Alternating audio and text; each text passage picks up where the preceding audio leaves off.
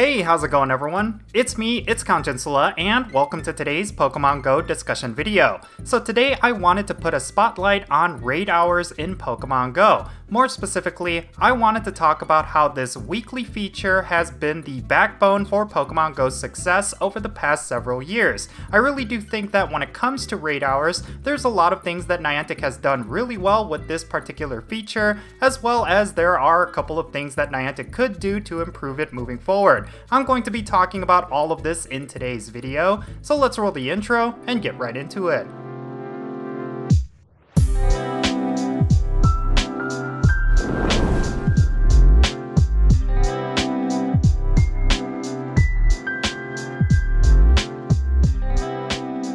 Okay, let's get right into it. So, in my opinion, one of the core fundamental aspects of Pokemon Go's gameplay has always been raiding. Ever since raiding was first introduced, it was probably the one way that most players were able to engage with Pokemon Go's endgame. Before raiding, there was gym battles, but there really wasn't any form of gameplay that allowed you to utilize all of your most powerful Pokemon in a way that was very rewarding, and in general, a very satisfying way. But like most MMORPGs, raiding was the endgame content that most players were looking for. If you had yourself a really good collection of Pokemon that you wanted to show off in some way, then raiding was a good way for you to do that. And it can't be understated, but raiding was a great way for communities to come together. Beforehand, it was all about gym battles and controlling gyms, but now it was all about coordinating with your local communities in order to take down some of the hardest raid bosses that you could encounter. But of course, the massive buzz around this form of gameplay wouldn't last long within the Pokemon Go community. Inevitably, this core feature would see a decline within the Pokemon Go player base, which not only would reduce player activity, but it would also cut into Niantic's revenue as well. This sort of decline would have marked the end of Pokemon Go as we know it. If players lost interest in raiding, then they would probably stop playing the game altogether, as there wasn't much else the game was offering at the time in terms of gameplay. A decline in a core feature like raiding would most certainly be the thing that kills Pokemon Go. Now this decline was for a lot of different reasons. Before the existence of raid hours and remote raid passes, it was really difficult for you to obtain legendaries through legendary raid battles if you were not part of a Discord or a Facebook group of some kind. This is of course because it required a certain number of trainers in order to defeat those raid bosses, and you need to find those legendary raids when they hatch to begin with. This made raiding a pretty inaccessible feature for most players, especially for those who live in rural areas where the number of Pokemon Go players would be limited to begin with. Overall, it was really hard for the average player to keep up with the most hardcore players. And considering for the longest time that raiding was one of the most primary sources for revenue for Niantic, they needed to come up with something to get players interested in raiding once again. This is when Niantic introduced raid days into Pokemon Go. These half-day long events were kind of like community days, only they were specifically tied to a whole bunch of raiding. Basically, for about 6 hours, you would see nothing but one particular legendary spawning in just about every single gym as a raid battle. Local communities would coordinate for massive raid trains for these particular days, and they would go and try to complete as many of these raid battles as they possibly could. This was a great way for both casual and hardcore players to get a whole bunch of a particular legendary, whether or not they were looking for the candies to max out one of their best ones, or if they were looking for those elusive perfect IVs. Now for a time, these were extremely popular events. A lot of players would look forward to these raid days, and they were extremely lucrative for Niantic. But of course, like community days, these particular events had different flaws. They typically happen on a Saturday or a Sunday of every month, and that meant a lot of players may not necessarily be able to participate in them for various reasons. And since we also had a community day every single month, this led to something that not a lot of players really experience anymore, and it is of course event fatigue players were essentially forced to plan around two big events every single month, and that could get really taxing and really tiresome, especially for community leaders who are trying to coordinate raid groups as well as community day meetups. I think at the time Niantic was fully aware that raid days were a great idea, but on execution, there were a lot of flaws that were really hard to overcome. After several raid days and a few months of a bunch of legendary raids, Niantic introduced this idea of having a lunchtime raid hour every so often. The concept was pretty simple. It was basically going to be the exact same gameplay as raid days, but it would only last for one hour during the lunch period of particular days that they announced. At first, the reaction to this was kind of mixed. A lot of players did not have a lot of free time during their lunch periods, and a lot of other players were frustrated that they had to give up their lunch hours in order to utilize these events to their fullest extent.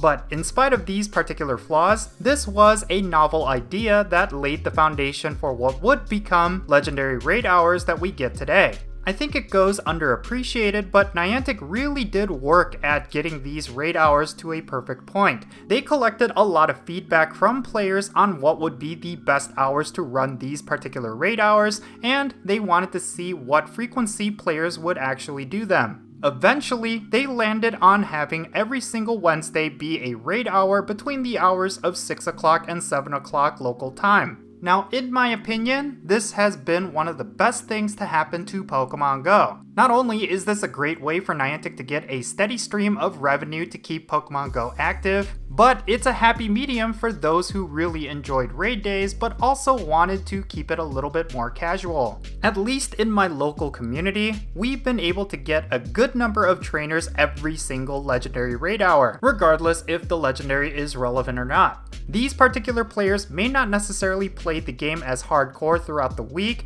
but at least for raid hours, they come out in order to collect the candies of the particular legendary, or at the very least, collect rare candies. What's also funny is that a vast majority of these particular players do not actually belong in any Discord or Facebook group, they just kind of show up to the heavily populated areas expecting for there to be raids to be completed. This relieves a lot of pressure for a lot of players to join Discords and Facebook groups in order to feel included. Basically speaking, the fact that there is an expected time where a lot of people are going to be out raiding in specific locations allows for a lot more inclusivity when it comes to legendary raids. So yeah, overall, I really think that Legendary Raid Hours every Wednesday has been one of the best things to happen to Pokemon Go in the longest time. And the best part is, it's not even required gameplay. It's not like you're going to be missing out if you do not participate in raid days, but for those of you who do, it is extremely rewarding and it is a great way for you to get ahead by collecting some of the best legendaries and mythicals and collecting all the candy that you would need in order to max them out.